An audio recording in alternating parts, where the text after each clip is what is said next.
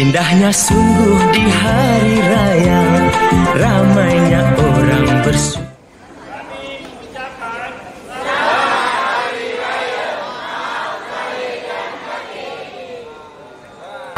kita bersama Lupakan saja sengketa.